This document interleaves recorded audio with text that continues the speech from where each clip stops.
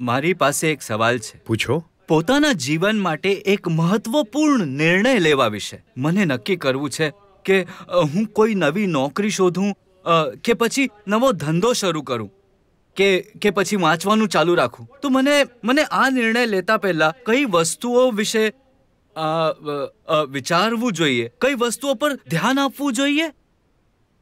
તો મૂળ રૂપથી તમે એ પૂછી રહ્યા છો? કે મારું જીવન ક્યાં લગાડવું જોઈએ? પણ તમે પૂછી રહ્યા છો કે તમારે કઈ નોકરી કરવી જોઈએ, શું ભણવું જોઈએ? વાત એ મહત્વની નથી. મૂળરૂપે સૌથી મહત્વની વસ્તુ એ છે, આ એક જીવન છે. તમારા બધા માટે તમારું જીવન અમૂલ્ય છે છે ને? હલો? આ એક અમૂલ્ય જીવન છે? જો આ વસ્તુ અમૂલ્ય હોય તો તમે આ જીવનને ક્યાં લગાડવા ઈચ્છો? તમે આ અમૂલ્ય જીવન કઈ વસ્તુમાં લગાવવા ઈચ્છો છો? જો આ એક બેકાર જીવન છે, તો એને ક્યાંય પણ ફેંકી દો. પણ આ એક અમૂલ્ય જીવન છે, તો તમે એને કઈ વસ્તુમાં લગાવવા ઈચ્છો છો? જો તમે આ રીતે જોશો, તો તમને કરવા માટે ઘણી સાર્થક વસ્તુઓ મળી જશે.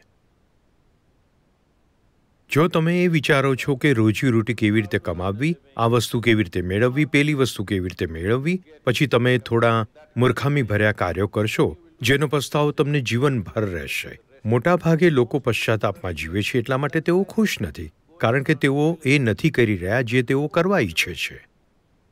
તેઓ કંઈ એવું નથી બનાવી રહ્યા જે એમના માટે સાચે જ મહત્વ રાખતું હોય, તેઓ બસ ગુજરાન ચલાવવા માટે કંઈક કરી રહ્યા છે. રોજીરોટી કમાવી એક માણસ માટે કોઈ મોટી વાત નથી. દરેક પ્રાણી, દરેક કીડી મકોડા પશુ, પક્ષી પોતાની રોજીરોટી કમાઈ રહ્યા છે છે કે નહીં? આટલા મોટા મગજની સાથે રોજીરોટી કમાવવું કઈ મોટી વાત છે? પણ દુર્ભાગ્યથી આ દેશમાં દસથી વીસ પેઢીઓએ ગરીબી વેઠી છે. બહારના કબજાઓ અને હુમલાઓ અને એવી બધી વસ્તુઓના કારણે, જેને લીધે લોકોની માનસિકતા એ રીતની થઈ ગઈ છે કે રોજીરોટી કેવી રીતે કમાવવી? મા બાપ સતત પોતાના બાળકોને હેરાન કરે છે કે તમે પોતાની રોજીરોટી કેવી રીતે કમાશો. આટલા મોટા મગજની સાથે જ્યારે એક કળસિયું પણ પોતાનો નિર્વાહ કરી લે છે, તો શું આટલા મોટા મગજની સાથે રોજીરોટી કમાવવું કોઈ સમસ્યા છે? ના. તમે શું બનવા શું માંગો છો?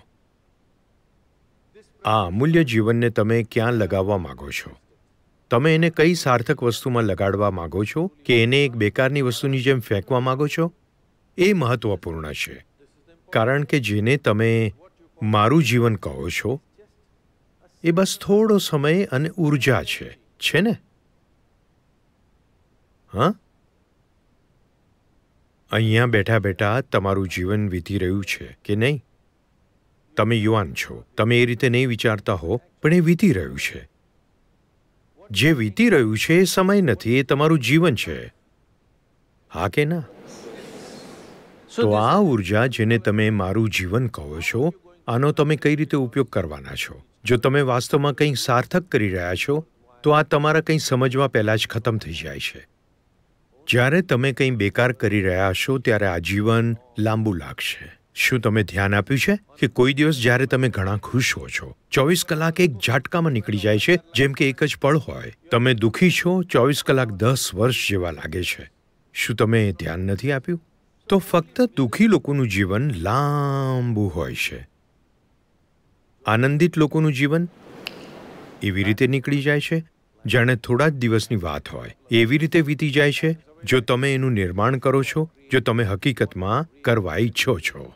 તો એક વસ્તુ દરેક યુવાઓએ કરવી જોઈએ, તે એ કે તમે તમારી ઉંમરના લોકોથી પ્રભાવિત થયા વિના, પોતાના પ્રોફેસર અને મા બાપથી પ્રભાવિત થયા વિના, કોઈ પણ પ્રકારની અસર વિના ક્યાંક એકલા રહો, ઓછામાં ઓછા બે ત્રણ દિવસ માટે. અને જુઓ કે હું આ અમૂલ્ય જીવન કઈ વસ્તુમાં લગાડવા ઈચ્છું છું. એ કઈ વસ્તુ છે જે મારા માટે આજે પણ અને પચાસ વર્ષ પછી પણ સાર્થક થશે, જેમાં હું પોતાની જાતને લગાવી શકું. તમે તમારું જીવન એમાં લગાવો. એ કોઈ પણ વસ્તુ હોય, ભલે નાની કે મોટી, એનાથી કોઈ ફરક પડતો નથી. જો તમને લાગે છે કે આ એક સાર્થક વસ્તુ છે અને તમે તમારું જીવન એમાં લગાવો છો, તો આ જીવનમાં તમને તૃપ્તિનો અનુભવ થશે.